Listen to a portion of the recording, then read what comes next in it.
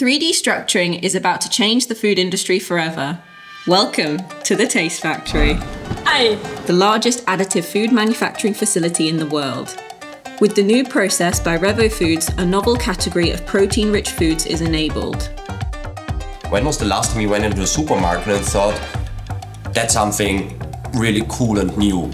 It hardly ever happens. Most things are the same, and that's where our technology comes in, with which we can create exciting new products, such as the filet, inspired by salmon.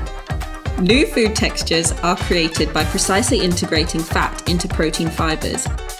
This enables new functionalities such as flaky layers.